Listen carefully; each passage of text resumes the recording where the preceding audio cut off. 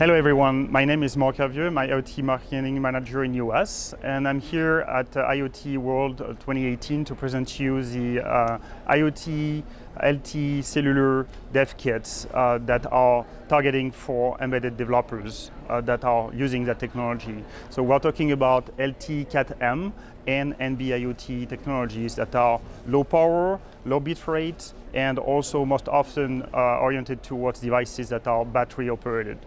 So uh, those are technologies that are deploying pretty uh, widely now in US, especially Cat-M and coming soon NB-IoT as well. And uh, uh, in those kind of technology, ST is very well suited because we have a very large portfolio of microcontroller sensors uh, and very low power oriented uh, solutions that are very fitting very well with those, those technologies.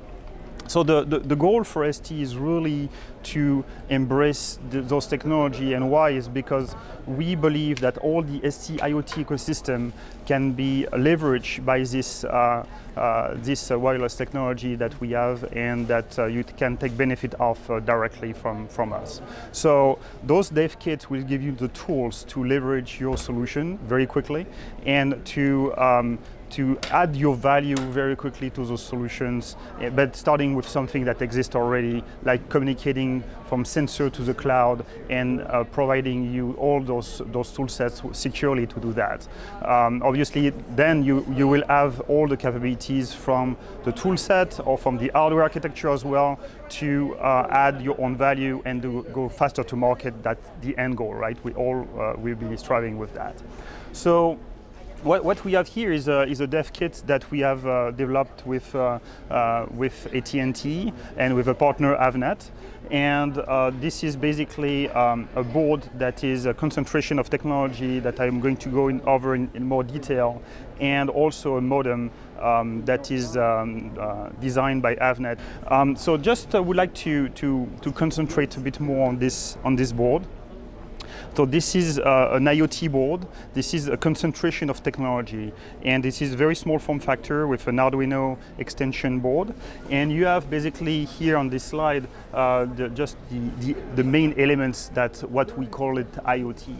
So this is first organized around an STM32 MCU that is an L4, so it's kind of a mid-range um, MCU that allows you already to do a, a, lot of things and that also address low power solutions, but has a lot of security uh, features already in there.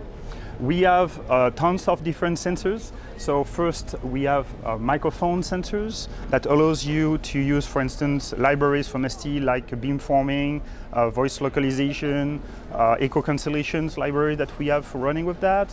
We also have uh, more motion-oriented um, sensors like magnometer, uh, like gyroscope and um, accelerometer as well. So again, we have tons of library uh, using those features or those elements and those sensors.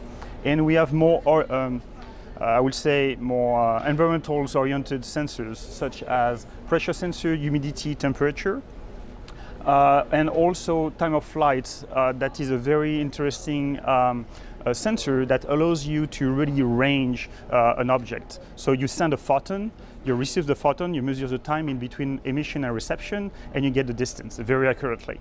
And this, I think this part goes to two meter, but we have some parts going to a wider distance as well. So just give you the sense of the sensor. But now on the local connectivity, uh, you have NFC, you have uh, BLE, you have sub-gigahertz, and also Wi-Fi.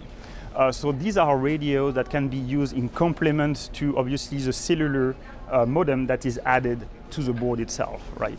So we believe this is the right tool to put in hand of the developers and that is going to help them, you know, using uh, in a lot of very wide use case possible and uh, we hope you will use it. So thank you very much.